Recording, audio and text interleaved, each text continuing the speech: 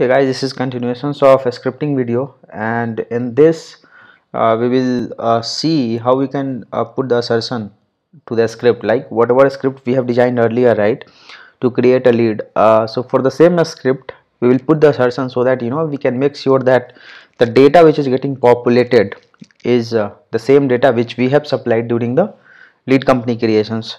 So if you look at when we go to the leads and whatever lead we create. So this lead we have created right?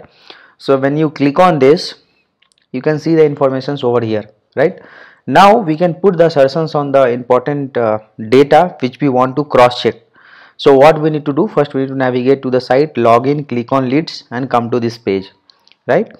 So this script I copied from the previous script where uh, I'm just navigating to the site. I will do a login and then I'm clicking on that lead which we got created right? Because since it is a link text so I'm clicking on that.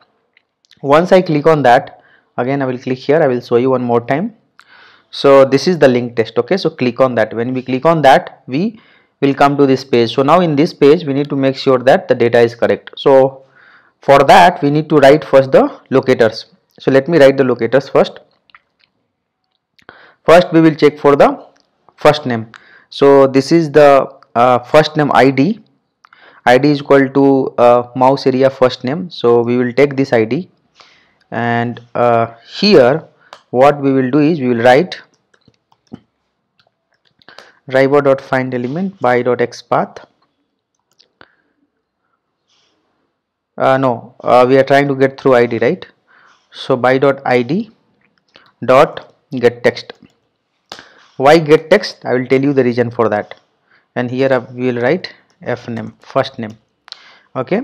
And create one string variable. Click on that. Other string variable will get created. Now we have a lot of assertions in the TestNG. So go for the this assert TestNG one. Click on that. Dot. Assert contents or equals. Assert equals. We'll go for the assert equals so we will go for the assert equals a string right? So we'll go for this actual and expected. So actual is this and the expected what we can do we can hard code right? So expected should come like this right? So copy here. Since this is our test data and we know that this is correct so we can just put assertions here. So this is our first assertion where we are putting the assertions that the first name is correct. Similarly, what we can do is we can put some more assertions here.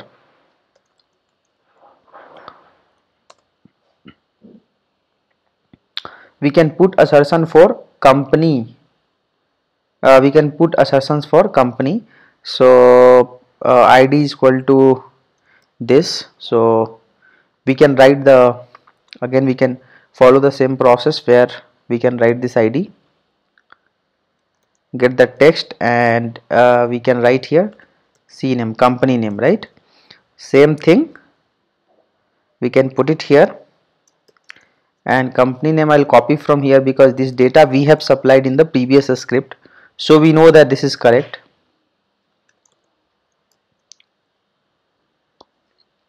And another assertions what we can do is uh, we can check for the revenue. So 3 is enough for us. Uh, we will go ahead and we'll try to test that like this data is proper or not right? So this is for amount.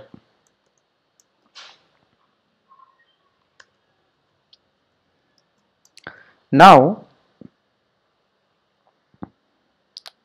uh, this should all get text amount. Yeah. So we can put it here sorry. We can put it here. And we can put amount here. So that's how we do assertions actually. This is the assertions in the script right? So either you can write a separate script where you can click on this uh, lead and you can verify the assertions or whatever the script you have designed in the same scripts in the down you can write those steps. Okay? So let me let me run that these assertions are working or not let me see that these three assertions which we kept we can we can keep more than uh, any assertions I mean based on the requirement. So let me run that.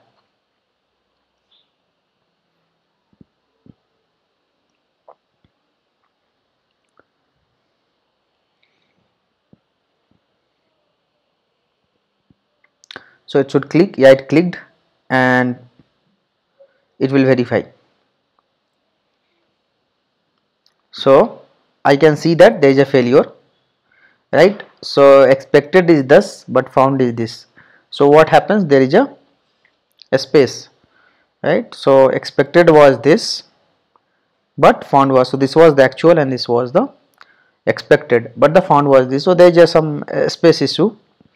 So what we can do is the amount which we are getting okay either we can put the same space right?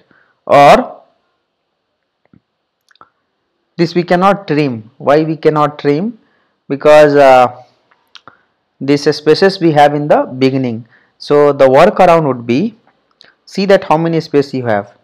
So one tab two tab right?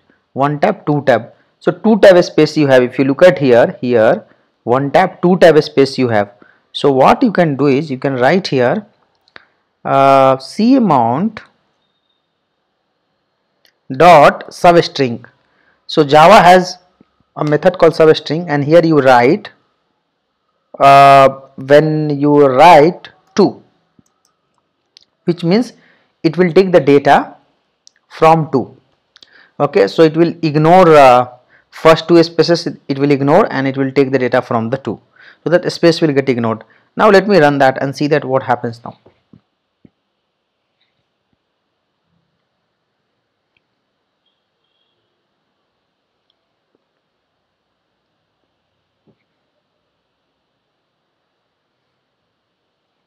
so it seems again there is some problem. No this time a script got passed. You can see that the script got passed. So this is one workaround I did here right? Why I did substring? Because uh, there was a space in the beginning and I wanted to skip that. So when you say substring of 2 which means uh, from the beginning it will uh, remove the first two uh, index 0 1 and it will count from 2 2 till the end. That is the reason this script was passed. So that's how you can put the assertion right? Assert dot assert equals this will help you to put the assertions in your script and that's how you can put the verifications point in your script. There are other ways also which we'll see that going forward. Thank you guys thank you for watching this. Hope you will be able to put the assertions in the scripts and hope you can run the same script and this will work fine for you. Thank you guys